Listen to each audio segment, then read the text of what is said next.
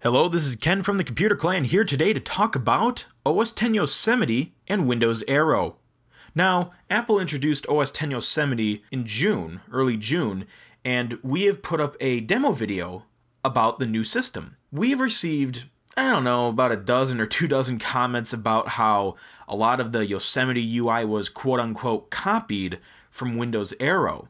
Well, first of all, I'd like to say that companies have a lot of smart people in them, so if some companies have similar ideas to others, it just means great minds think alike. As long as you're not really breaking patents and like infringing on patents or whatever, you know, because that's illegal, it's really okay. Nothing bad's gonna happen. It's just software. It just shows that great minds think alike. But I would like to demonstrate how a lot of the elements in these interfaces are actually quite different. So let's start with the basics. Transparency. Both interfaces utilize transparency. Windows 8 doesn't use Aero anymore, but the predecessor 7 has used Aero. Now, Aero was introduced in Windows Vista in 2007, early 2007, and late 2006 for the RTM. And the OS 10 Yosemite interface, which is replacing Aqua, was introduced in 2014 at WWDC 2014 in terms of this comparison, yes, Aero came before the Yosemite UI.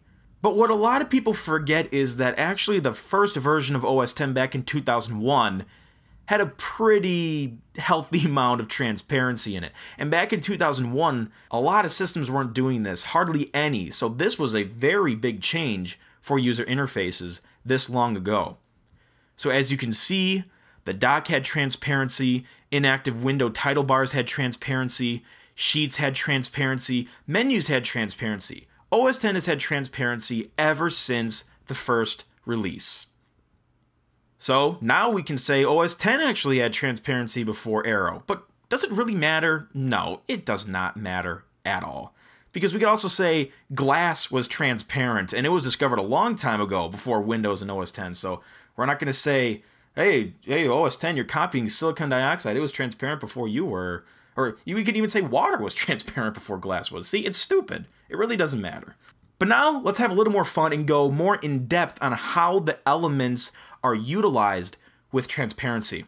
So, for example, in Windows, you can see transparency in the taskbar, in window borders, some window toolbars, the start menu, and some specific window fills. For example, when you open up the gadgets picker, that whole window utilizes the Aero transparency look and feel.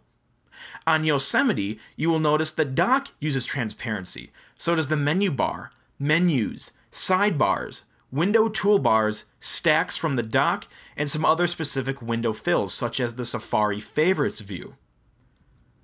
So that was how some of the transparency is used across the system, but now let's get even more specific and talk about the design of the transparency. In Windows, the Aero theme can have user-defined colors. You can pick them right from the control panel. And the overall glass look is kind of glossy, and it has a light blur effect behind it for that glass effect. In addition, when a user clicks off of a window, the Aero glass is still present, but it loses the color. So it's still transparent, but there's no color in it. In OS 10 Yosemite, the transparency adapts to the underneath objects. For example, sidebars, the dock, some specific window fills, and menus adapt to any object that is lying beneath them. So if I dragged a window beneath the dock, you would see the transparency effect there. If I opened up a menu over a window or the desktop wallpaper, you would see the transparency there too.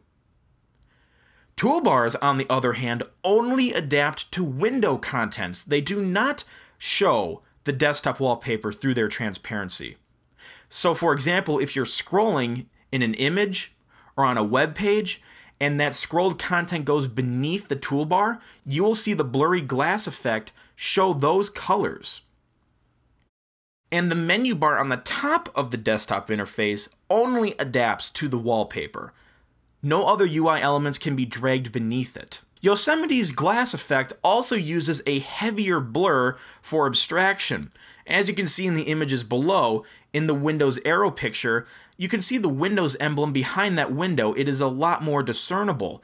But in the Yosemite interface, the frosted glass look is way more blurry. This is basically just to add abstraction, to get the general colors to soak through, to make it adapt in a way without it being too specific as to showing what picture is laying behind your UI elements. It's mainly just for the color. Also, any Yosemite windows and sidebars that a user would typically be dragging around and using, if a user clicks off of them, they turn opaque. Only the frontmost window actually uses this glassy effect in terms of windows and sidebars. When a user clicks off of them, they go opaque. Yosemite also comes with a light or dark theme, and certain UI elements can be turned dark via a control panel item in the system preferences. And some UI elements are darker to begin with. Some HUDs are like this, and so is the notification center. So that is a quick overview of how these interfaces may be similar, but are actually very, very different. It's just like comparing an elephant to a mouse. At the end of the day, they're both animals, they're both gray, and they both have tails. But if you look at them much closer, you will see that they are worlds apart. So thank you for tuning into this presentation, and I hope you'll learn something new. Feel free to leave any comments or questions that you would like, and I will do my best to get back to you about your inquiries and comments. Thanks for watching, and I will see you next time. If you wish to stay updated with real deal uploads, smash that subscribe button and hit that like button if you liked the video. Want to get a behind the scenes look at the Computer Clan? Feel free to sign up on our CC Backstage forum. And if you wish to see more content from us, visit us on thecomputerclan.com.